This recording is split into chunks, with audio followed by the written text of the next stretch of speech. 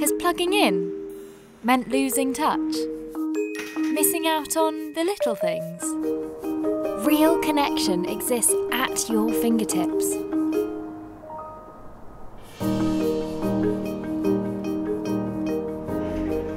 Press play, ditch the screen, and listen along.